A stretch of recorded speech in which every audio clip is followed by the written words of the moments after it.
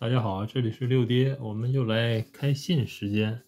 今天收到一封信啊，这个尼尔森，尼尔森是美国一个大的搞这个调查问卷的公司，我没有打开，我大概猜到可能会是什么，等一下再说。我先把那呃实时打开看一下什么东西。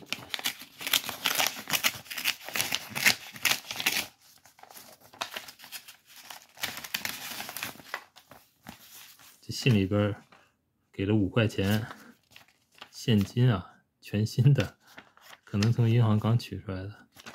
为什么说会知道是有可能是这个钱呢？是这样的，是因为之前呢他寄过一封信，大概放了两块钱现金，说呢附带了一个调查问卷，关于你家里好像是电视服务啊、Internet 服务的一些调查问卷，如果你填了寄回去。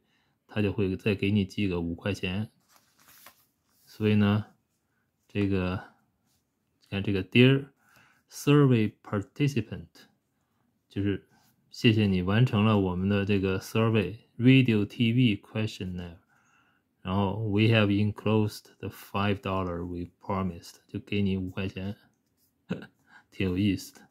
这是也算是有偿进行调查问卷的一个方式。看来这个公司不差钱啊，随随便便就给个两块钱、五块钱给客户了。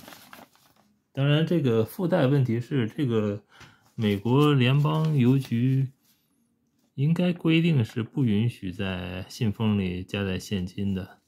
当然，他们这么公司这么做，也不知道，呃，是。为什么没有被被这个邮局制止？这个尼尔森是非常大的一个公司了。OK，今天的开信就到这里，怎么样？天上掉下五块钱。